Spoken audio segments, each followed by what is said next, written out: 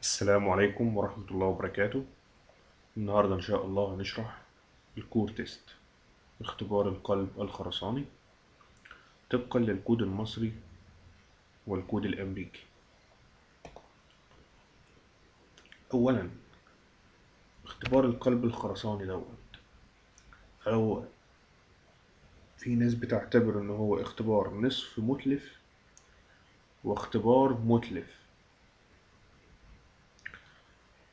تمام. ليه ليه هو نصف متلف أو متلف؟ لأن أنت بتاخد عندك منشأ قائم أنت بتاخد منه عينة يبقى اذا أنت بتضعفه. يعني أنت كده قللت من ال- الخرسانة. يعني أنت مثلا عندك عمود 30 في 60 أخدت منه حتة قطعت منه جزء معين يبقى اذا أنت إيه؟ أتلفته. ما بقاش ال 30 في 60 دلوقتي بقوا كاملين. يعني عشان كده بيقولوا إن هو نصف متلف. تمام. إمتى بلجأ له؟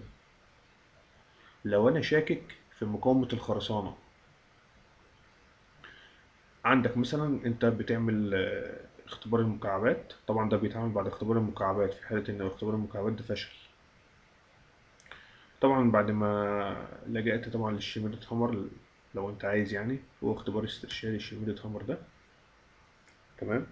بس انت يعني شاكك في المكعبات يعني حتى لو المكعبات نجحت اختبار المكعبات ده نجح بس انت برضو شاكك في يعني شاكك ان المقاول بتاع الخرسانة آه، لعب في النتائج أو كده ايا كان يعني إيه السبب؟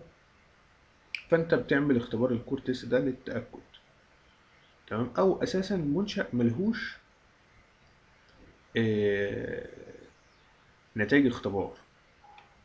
آه، وليكن مثلا زي المنشآت القديمة اللي هي بيعملوا اللي هي عملوا عليها تصالح ديت.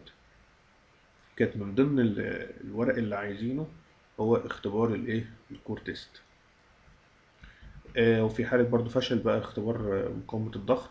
فشل أصلا.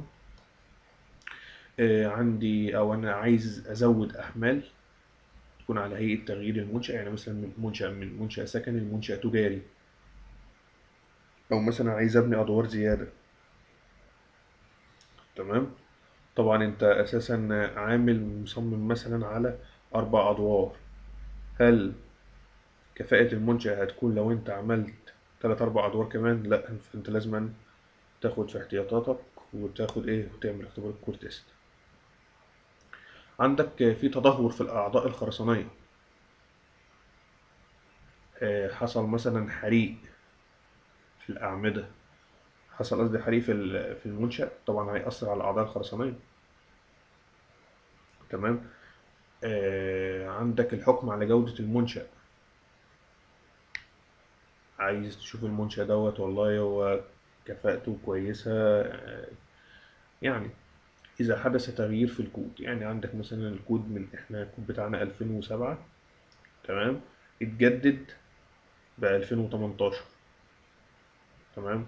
آه عايز يعني فرضا لو القيم ديت متغيرة يعني مثلا اللي هي الحكم على ال ال الكود أو الحكم قصدي على كفاءة المنشأ اتغيرت اللي هي ما أكيد طبعا إذا كان هي أساسا بتتغير من كود لكود ومن إصدار لإصدار فأنت عايز تشوف إن ال- ال- المنشأ اللي عندك دوت هل هو موافق للكود الجديد ولا لأ؟ وبالتالي فهو يمثل تمثيل حقيقي لإيه؟ لمقاومة ضغط الخرسانة. لأن أنت بتاخد عينة أصلا اتصبت خلاص. سقف واتصب أنت بتاخد منه عينة. تمام؟ آه، جهاز هو عبارة عن جهاز قطع العينة طبعا أكيد كلنا عارفينه. تمام؟ اسطوانة بأقطار مختلفة طبعا على حسب القطر اللي أنت عايزه. آه، لها رأس ماسي يدور بسرعة عالية بالكهرباء عشان يست- يستخرج العينة عامل كده زي ال زي بيقور الكوسة كده مثلا. هو نفس القصة بيدخل الجهاز دوت يقطع في الخرسانة. تمام؟ الجهاز دوت يقطع في الخرسانة بطول معين وبعد كده تقوم مطلعه تاخد إيه؟ العينة تمام؟ عندك منشار لقطع الخرسانة لتسوية نهاية العينة. تمام؟ عندك بقى ملاحظات بقى عند استخراج العينات. آه، يفضل اولا هنا بس الحتة اللي هي بتاعت المنشار ديت لأن أنت أساسا بتطلع ال- العينة ما بتبقاش مستقيمة مش متساوية فأنت بتضطر إن أنت إيه تقطعها تساوي النهايات بتاعتها. عشان طبعا ده هيأثر لو انت حطيتها زي ما هي كده على مكنة ال- الاختبار. طبعا ده هيدي لك نتائج إيه غير صحيحة. فلازما العينة لما تيجي تتحط على سطح المكنة تمام وتتعرض لحمل الضغط لازم تكون إيه متساوية عشان ما يحصلش آه، إن النتائج تطلع مش مظبوطة. يعني عندنا ملاحظات بقى. اولا انت لما تروح تستخرج العينات تمام تستخرج يفضل اخذ العينه في المكان المعيب ولكن إذا كان ذلك سيؤدي إلى تدهور العنصر يعني هي أساسا لو العنصر هيدهور بزيادة هو يأثر على أمان المنشأ. لا يتم أخذها من قطاع أكبر من نفس نوع الخرسانة. تمام؟ من نفس نوع الخرسانة اللي هي رتبة الخرسانة يعني. تمام؟ يعني أنت عندك عمود عندك والله عمود ضعيف. يعني شايف فيه شروخ شايف فيه أي حاجة. روح يا سيدي العمود اللي جنبه لو لقيته مثلا كويس ولا حاجة خد منه. ما خرسانة ده هو هي هي خرسانة ده. آه، يتم عمل دراسة نظرية قبل الاختبار. مثلا في حالة الأعمدة يتم أخذ عينات من الأعمدة عليها إجهادات منخفضة. آه يعني عندك عمود شاي شايل مثلا الإجهادات قليلة خد منه ما تاخدش من اللي هو الكبير. تمام؟ يفضل أن تؤخذ عينة القلب الخرساني في اتجاه لا يوجد به حديد ليه بقى القصة ديت؟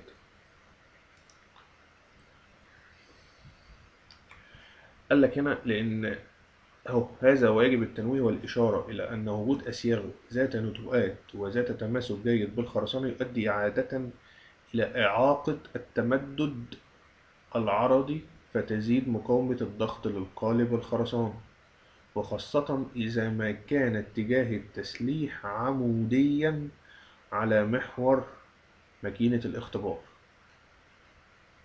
ماكينة الاختبار الحمل بينزل كده وأنت عندك السيخ كده وبالتالي بقى عمودي. تمام؟ هذا بالإضافة إلى الأخذ في الاعتبار أنه نظرا لكبر معامل المرونة للصلب بالنسبة للخرسانة لأن طبعا معامل المرونة بتاع الحديد أو الصلب بعشر أضعاف الخرسانة فإن فإن ذلك سوف يؤدي مع زيادة حمل الاختبار في الضغط للقالب إلى التشققات على طول أسياخ التسليح. هتلاقي كده الخرسانة شرخت تمام؟ بنفس الإيه؟ بنفس طول السير والتي بدورها تؤدي إلى خفض المقاومة وخاصة في الخرسانات الإيه؟ الضعيفة. تمام؟ نرجع تاني. يفضل أخذ عينة القلب الخرساني في اتجاه موازي للعرض أي في اتجاه القطاع الكبير. تمام؟ حتى لا يؤثر على إيه؟ الانرشيا يعني أنت مثلا عندك عمود 30 30 في 60 هنا مثلا 60 والبعد التاني كام؟ 30 خد يا سيدي من أبو 60 تاخدش من ال 30 تمام؟ يعني هو أساسا 30 ده صغير يعني البعد بتاعه صغير. هتاخد هتقوم واخد أنت منه؟ لا عندك الكبير خد منه. تمام؟ آه، النسبة بقى اللي هي ال aspect ratio اللي هي L على ال D تمام؟ بعد التسوية وال capping. هنتعرف دلوقتي إن إحنا إزاي بنجهز العينة عشان خاطر الاختبار. تمام؟ بيقول لك إن ال- النسبة ديت ما تقلش عن واحد وما تزيدش عن كام؟ عن اتنين. آه، غير مستحب أخذ ال- ال core في أماكن ال shear. أنت طبعا عندك أول متر في العمود وآخر متر في العمود. ما ينفعش طبعا أنت تاخد منهم shear لأن ديت أساسا منطقة plastic hinge.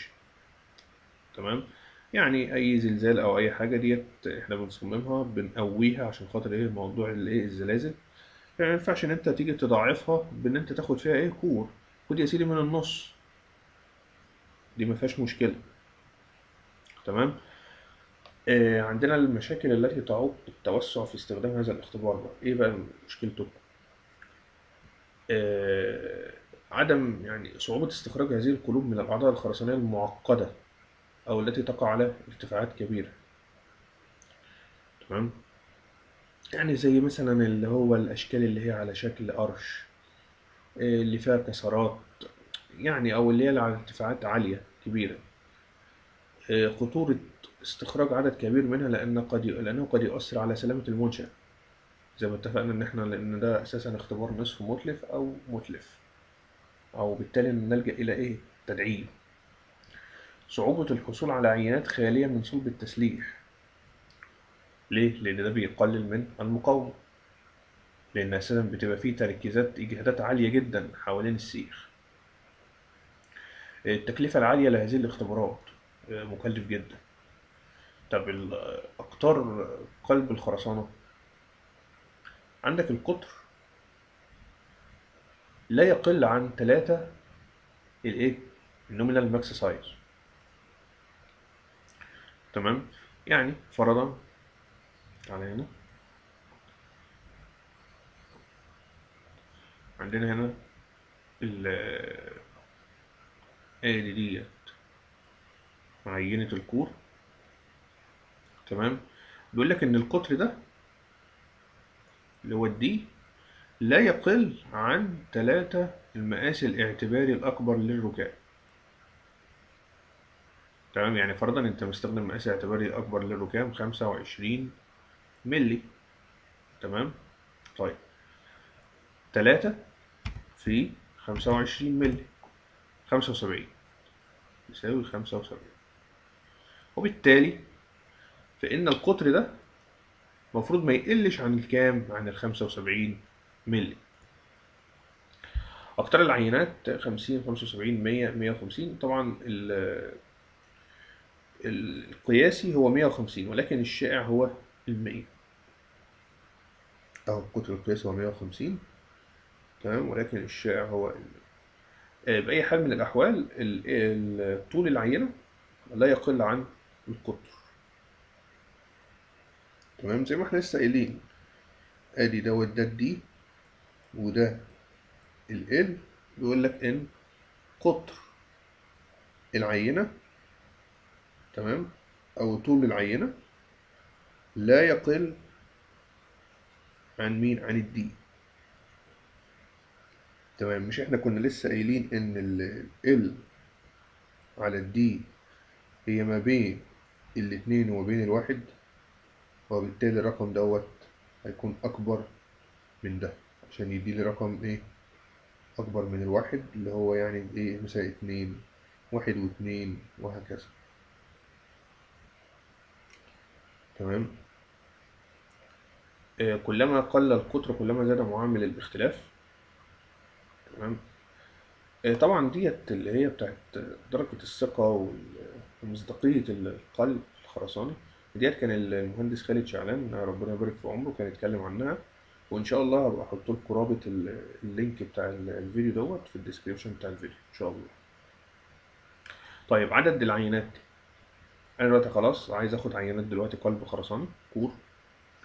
قال لك لا يقل عن ثلاث عينات بأي حال من الأحوال. تمام؟ والله عندك مثلا يعني حجم خرسانة 10 متر مكعب 20 30 ماليش دعوة أقل حاجة هي ثلاث عينات. آه قال لك وعندنا برضو في إيه في شرط وفي قانون دلوقتي. بيقول لك إيه بقى؟ لو حجم الخرسانة أقل من 150 ما تقلش عن ثلاثة طيب لو أكبر 100 أكبر من 150 أكيد طبعا هتزيد عن ثلاثة تمام؟ ليه؟ لأن أنت دلوقتي عايز عدد عينات يعب- يعبر عن الخرسانة اللي قدامك دي. فمش هينفع مثلا لما يبقى حجم الخرسانة كبير هتاخد له برضه ثلاثة. لا إحنا عايزين عينات بتعبر عن الخرسانة اللي موجودة. تمام عندنا مثلا سقف أهو مثال أهو.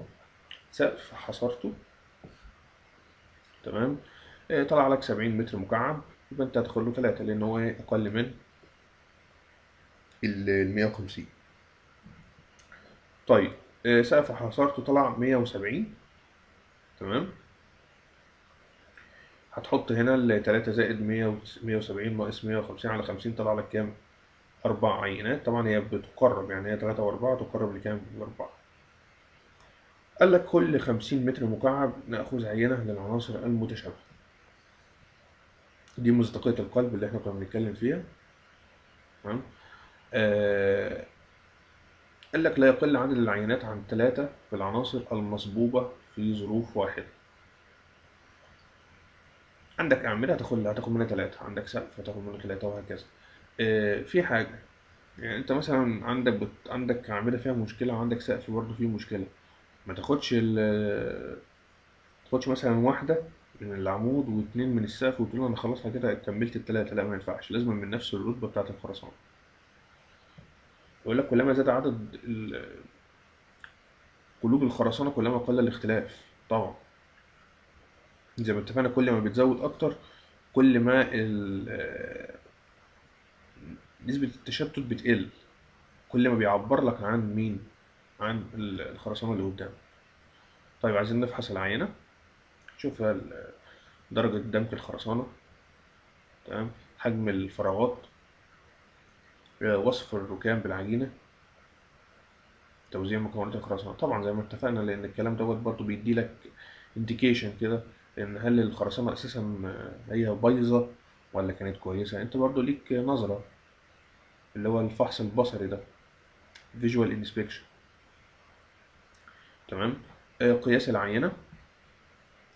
تمام؟ آه زي ما اتفقنا بقى إن ال لا يقل عن الدي. عندنا التسليح. يقاس موضع أي صلب تسليح. من منتصف السيخ حتى النهاية القريبة للعينة طيب عايزين بقى نجهز إحنا خلاص استخرجنا الكور عايزين بقى نجهزه بقى عشان خاطر إيه؟ نعمل له الاختبار ونشوف هيجيب مقاومة قد إيه.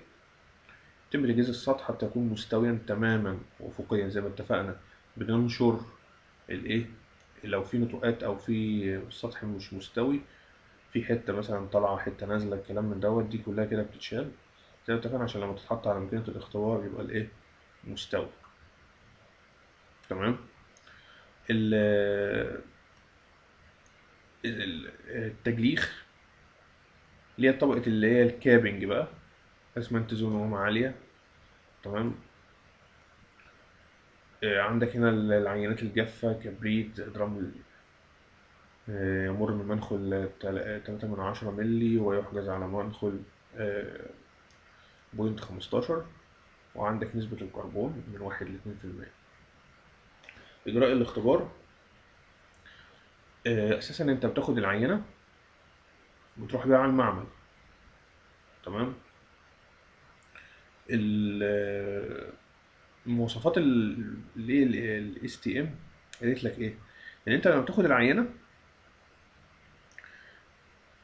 بتحطها كمعالجة في الهواء يعني انت بتوديها المعمل في خلال 24 ساعة بعد كده بتحطها في معالجة في الهواء لدرجات حرارة ال- الغرفة وبعد كده بتاخدها تعالجها وبعد كده بتختبرها برضو بعد كام؟ آه، هناك 40 ساعة إنما هنا آه، على 8 48 ساعة. طيب هي لو في حالة رطبة بترف... بترفعها من ال- الأحواض الحوض اللي هو المعالجة بقى بعد 48 ساعة المفروض إن أنت بتنشفها. تمام؟ عشان برضو ما تقللكش في المقاومة. يعني هي أساسا لو هي جافة هتعلي لك المقاومة. لو هي رطبة هتقلل لك المقاومة. لا فأنت تخليها في ال في في الإيه في في حالة ال SSD اللي هي ناشفة خالص ومن جوه فيها إيه؟ فيها مية. ناشفة من بره يعني. تمام؟ هننضف مكان العينة بالمك... بال- بالماكينة تمام؟ من أي أتربة أو عوالق. ويملأ مكان القلب بعد القطع بمونة الإيبوكسي أو ال grout. طبعا أنت قطعت خرسانة. يعني مثلا هنا اهيت. أهي. يجب ملء الفراغ المستخرج والمأخوذ من الكتلة الخرسانية المختبرة وذلك عن طريق خرسانة قليلة الانكماش أو عن طريق حشو وحشر اسطوانة سابقة الصب ذات حجم مناسب داخل الفراغ مع الحقن بمونة أسمنتية أو استخدام مواد إيبوكسية لاصقة. آه، زي فكرة اللي التدعيم أو الترميم. مش أنت كنت في الآخر بتعمل خرسانة جديدة؟ تجيب خرسانة جديدة وتحط لها برضو مواد آه، أقل الانكماش أو أو مونة قليلة الانكماش؟ نفس القصة هنا برضه تمام؟ محور العينة طبعا منطبق ده معروف من اختبار المكعبات. آه، يوضع الحمل على العينة بمعدل تحميل قياسي. تمام؟ آه، هتجيب بقى مقاومة ال- الضغط. طبعا دي اسمها ال FCY اللي هي مقاومة الإيه؟ الضغط بتاعت الأسطوانة. عندك هنا تصحيحين بقى. تمام؟ أول حاجة تصحيح الأبعاد. تصحيح الأبعاد. طيب نبتدي بس كده بالكود ال أو ال ASTM قالت لك إيه؟ والله لو L على ال D أقل من واحد point تمانية ما تعملش أبعاد. مع إن أنا شايف ال- المفروض إن أنت ما تعم- ما تعملش أبعاد. لو L على ال D ديت بتساوي كام؟ L بتساوي وا- اتنين. ليه؟ لأن أنت خلاص خليت ال- الطول بقى ضعف العرض. لأن أنت أساسا عندك القياسي هناك في ال في ال STM إن الطول 30 سنتي والعرض أو ال أو القطر 15 تمام؟ فدي كده قياسية. فأنت لو آه، عملت أو خليت العينة بتاعت الكور نفس عينة الأسطوانات اللي هي اختبار ال- الأسطوانات هناك يبقى أنت كده مش محتاج لما لمعاملة تصحيح تمام؟ نرجع هنا للكود المصري. تمام؟ عندك هنا تصحيح الأبعاد. آه، عندك هنا ال K ده معامل بيع- بيعتمد على اتجاه الصب. هل هو اتجاه أفقي ولا اتجاه إيه؟ رأسي على واحد ونص. طبعا إحنا هنسمي أول تصحيح دوت mu واحد أو eta واحد أيا كان يعني. زائد واحد على اللمدة تمام؟ ال K دي بتعتمد على اتجاه صب العينة. اللي هو عمودي؟ اللي هو عمودي على اتجاه الصب يعني انت مثلا بتصب كده مش انت بتصب كده الليندا بتاعت ال- ال pump بتصب مثلا كده فانت بتاخد اتجاه عمودي عليها يبقى ده اتجاه إيه؟ افقي تمام؟ قطع افقي يعني. فانت ال K عندك بتساوي اتنين ونص. طب لو موازي موازي لاتجاه الايه؟ الصب زي الأساسات. انت الأساسات ديت اهيت انت هتاخد من فوق نفس اتجاه الصب يعني. تمام؟ هتقطع إيه؟ رأسية. 2.3 واللم- آه، واللمدة ديت نسبة الطول إلى قطر ال على الدي. طيب آه، ده كده أول تصحيح. تمام؟ طيب ده إجباري زي ما قلنا إيه المشكلة بتاعت الأبعاد مش زي الأبعاد بتاعتنا بتاعت اللي هي المكعب اللي هي 15 في 15 في 15 طيب المقاومة اللي أنت هتجيبها دي بقى اسمها CU بقى. خلاص. اسمها مقاومة المكعب الإيه؟ التقديرية طيب. آه عندي بقى القصة بتاعت ال- ال K ديت. تؤخذ أفقيا أعلى للعينات المأخوذة رأسيا. ليه بقى؟ تعال نشوف السبب. هنا كنتيجة لتأثيرات تتابع الطبقات في مقاومة القلب أن المقاومة المقاسة لقلب ما مأخوذة في الاتجاه الرأسي أي في نفس اتجاه الصب غالبا. ما تكون أكبر من مين؟ يعني الاتجاه الرأسي أكبر من مين؟ من المقاومة المناظرة لقلب مأخوذ في أو مقطوع يعني في الاتجاه الأفقي لنفس نوعية الخرسانة ومن نفس العنصر وذلك في حدود 8% يبقى إذا العينات اللي هي اللي بتتاخد في اتجاه رأسي موازي للصب أكبر من مقاومتها يعني أكبر من العينات اللي متاخدة اتجاه أفقي عمودي على اتجاه الصب تمام؟ طيب تأثير وجود الإيه؟ التسليح إحنا طبعا قلنا لا يفضل إن ما يكونش فيه حديد تسليح لأن ده أساسا بيق- بيقلل من الإيه؟ المقاومة. طب أنا خلاص. هو قال لك لا يفضل إنما هو ما ما ما ألزمش. قال لك لا أنا مش عايز حديد. لا هو قال لك لا يفضل وبالتالي هو حط لنا آه، تصحيحات لنفس لموضوع التسليح ده. لو عندي سيخ واحد في العينة هعمل إيه؟ قال لك واحد زائد واحد ونص في ال S phi على L D ال S دي المسافة بين محور السيخ اللي هي ال center line بتاع السيخ والنهاية القريبة للعينة. تمام؟ مفيش مشكلة.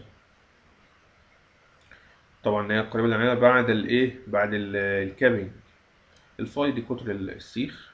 L ده ارتفاع عينة القلب بعد معالجة نهايتها اللي هي L خالص دي كلها دي كده كل دي L بعد الإيه؟ بعد ال capping و D قطر عينة القلب الخرساني طيب. لو عندك سيخين متقاربين العينات التي تحتوي على سيخين لا تزيد المسافة بينهما مسافة بين السيخين دولت لا تزيد على قطر السيخ الأكبر اللي هو ال phi maximum اللي هو أكبر سيخ منهم أكبر قطر سيخ فيهم فتطبق المعادلة السابقة لحساب بيو 2 ديت مع الأخذ في الاعتبار أكبر قيمة لل S phi يعني أنا لو عندي سيخين متقاربين المسافة بينهم اللي ما بتزيدش عن phi maximum فأنا هاخد تأثير ال S phi فيهم. يعني في واحد هاخده والتاني ههمله. طيب لو في بقى سيخين متباعدين لا أنا هاخدهم الاتنين في الاعتبار. قال لك هو sigma S phi تمام؟ طب في حالة وجود سيخ مكسح سيخ وجود سيخ مائل مكسح تمام؟ هتاخد انه انه ال S بتاع ديت ولا دي؟ قال لك هتاخد الكبيرة اللي هي دي S S اللي هي S 2 طيب وبالتالي فإن المقاومة اللي هي النهائية بتساوي ال FCU اللي انت اللي أنت جبتها اللي هي ال P على ال area في التصحيح الأولاني بتاع الأبعاد في التصحيح الثاني بتاع الأسياخ. وقلنا ده ممكن ما يكونش فيه إيه؟ آه ميوت ليه قال لك المواصفات الأمريكية لا تسمح بوجود حديد تسليح. هي ما قالتش لا تسمح هي قالت لا يفضل. ولكن في اختبار ما هو الكود دوت هناك بيعملوه بيعملوا برضو منه اختبار اللي هو ال splitting test. تمام؟ قال لك ده بقى لا يسمح بقى. انت مش هتعمل عليه شد الايه الانفلاق ده. إنما في القصة بتاعت الحديد تسليح قال لك لا يفضل يعني لا, لا تسمح ديت لا غلط هي المفروض لا يفضل تمام؟ طيب عايزين ناخد مثال على حكاية وجود سيخين متقاربين دول. تمام؟ عندك سيخ وعندك التاني اهوت المسافة ما بين السيخ ده ال center line السيخ ده للنهاية فوق النهاية القريبة له. ده خمسين والتاني اللي من ال center line ده اللي هو بستاشر مللي ده. للنهاية فوق خالص تلاتة وعشرين مللي. طيب الفرق بينهم فرق من خمسين لتلاتة وعشرين هي تلاتاشر. تمام؟ وال phi maximum منهم هي كام؟ ستاشر. تمام. قال لك هو الشرط ألا تزيد المسافة بين السيخين عن القطر الأكبر. المسافة بين السيخين اللي هي 13 عن القطر الأكبر اللي هي كام؟ اللي هو 16 أهو. صح. طيب لو الشرط ده ما اتحققش يبقى السيخين دول متباعدين وبالتالي أنت هتاخد تأثير السيخين دول معاك اللي هي بالمعادلة اللي هي بتاعت ال sigma sigma phi S. تمام؟ طيب هناخد التأثير الأكبر. طيب أنا عايز أشوف الاس واحد ولا الاس الفاي واحد ولا الفاي اتنين؟ طيب والله نشوف هنشوف ال S واحد دي اللي هي من نهاية السنتر من ال center line السيخ للنهاية القريبة منه. طيب تعالى شوف كده phi واحد. phi واحد اللي هي ستاشر في تلاتة وعشرين. ستاشر في تلاتة وعشرين. طبعا كل ده بالملي. تمام؟ آه ال S اتنين اللي هي السيخ التاني من اللي هي ال S اتنين بتاعته كانت بخمسين وده اتناشر. قطره 12 طلعت ب 600 بقى تاخد تأثير مين؟ السيخ دوت وهتهمل مين؟ هتهمل اللي هو إيه أبو فاي 16 تمام. طب لو كان السيخ موازي لمحور العينة؟ إيه ليس له أي تأثير على العينة أثناء استخراجها ولن يسبب في مقاومة. نقص في مقاومة العينة بعكس الأسياخ الإيه؟ العمودية. يعني أنا أساسا بعمل التصحيح بتاع الاسياخ دوت بسبب الاسياخ اللي هي العمودية على محور العينة. يعني دوت أخينا دوت اللي هو الموازي اهوت لمحور العينة ده هيتم إهماله. إنما التاني دوت الاتنين دولت كده هاخدهم معايا في الاعتبار. لأن طبعا ده ممتد لجوه كده. تمام؟ طيب شروط آه شروط القبول. اولا يكون عندك أقل حاجة ثلاث عينات. تعتبر العينات مقبولة إذا كان متوسط مقاومة الضغط لا تقل مقاومة الضغط بتاعت التلات عينات دول لا تقل عن خمسة وسبعين في المية من المقاومة المميزة المطلوبة. يبقى أنت عندك أهي متوسط اللي هو ال FC average. لا تقل لا تقل تمام عن بوينت خمسة وسبعين من ال FCU اللي هي المطلوبة اللي هي مثلا لو عندي اللي هي مثلا 350 مقاومة 350 آه، الأعمدة مثلا يعني تضرب هنا point 75 في 350 وتقارنها بمين؟ بال FC average قال لك ال FC average ديت لا تقل عن point 75 من ال FCU الشرط الثالث لا تقل المقاومة الدنيا للعينات عن خمسة وستين في المية يعني انت دلوقتي عندك ثلاث عينات هتمسك أقل مقاومة فيهم وهتقارنها بالمقاومة المميزة بس بكام؟ في المية منها تمام؟ طيب عندك هنا مقاومة المكعب القياسي اللي هي ال FCU اللي هي المقاومة اللي إحنا عارفينها مقاومة المكعب عادية تمام؟ طب مقاومة القلب اللي انت جبتها قبل التصحيح يعني قبل التصحيح يعني انت لما بتجيب الكور وتختبره عادي كأنك بتختبر اسطوانة. فأنت عندك الحمل الكاسر على المساحة السطحية بتاعت الاسطوانة. باي دي تربيع على أربعة. تمام؟ يبقى ديت هي اسمها مقاومة القلب أو مقاومة الاسطوانة. طيب مقاومة المكعب الفعلي ديت مقاومة تخيلية أصلا. آه عندك هنا مقاومة ملهاش لازمة يعني. آه عندك هنا مقاومة المكعب الفعلية التقديرية. اللي هي بقى اللي إحنا بنحسبها اللي هي بعد مين؟ بعد التصحيحات. اللي هي ال FC actual تمام؟ طيب عايز أعرف حدود القبول في الخرسانة سابقة الإجهاد. آه خرسانة سابقة الإجهاد هتستبدل يعني نفس الشروط اللي فاتت بس هتستبدل. ديت كانت point خمسة وتمانين هناك كانت point خمسة وسبعين. تمام؟ دي للتلات عينات أو ال average. هنا كانت point تمانية FCU ده العينة الواحدة. هناك كانت كام؟ point خمسة وستين. قال لك إن وجدت نتيجتين فقط وليس ثلاثة في حالة موافقة الاستشاري يجب ألا تقل أي منهما عن المقاومة المميزة المطلوبة. تمام؟ تعال نشوف الكود الأمريكي. برضو نفس القصة قال لك أقل حاجة ثلاث عينات. تمام؟ آه وقال لك هنا ال FC average ما تقلش عن 85% المفروض هنا في ال FCU اللي هي المقاومة بتاعت الايه؟ العنصر اللي عندك. أعمدة برضو أو أسقف هو كان مطلوب أو هي كانت مصممة على 300 فأنت هتضرب هنا point 85 في 300 المفروض ما تقلش عن إيه؟ عن ال average. قال لك لا تقل المقاومات الدنيا مقاومة الدنيا اللي هي أقل مقاومة برضو عن 75% من المقاومة التصميمية. يعني هتجيب الثلاث عينات دولت بعد ما اختبرتهم. هتجيب أقل واحدة فيهم وتقارنها بكام؟ ب point 75 من ال FCU اللي هي بتاعت الإيه؟ اللي هي بتاعت السقف مثلا أو الأعمدة زي ما اتفقنا. تمام؟ آه كده إحنا خلصنا الشرح آه اختبار ال core test. إن شاء الله بإذن الله المحاضرة اللي جاية آه هناخد مثال مثال محترم كده. آه على الكلام ده على ال core وإن شاء الله يعني نكون استفدنا تبقى نحقق يعني في استفادة عالية يعني بإذن الله لأن هو اختبار أو يعني مسألة كويسة. تمام؟ آه أرجو يكونوا إن المعلومة وصلت. شكرا والسلام عليكم ورحمة الله وبركاته.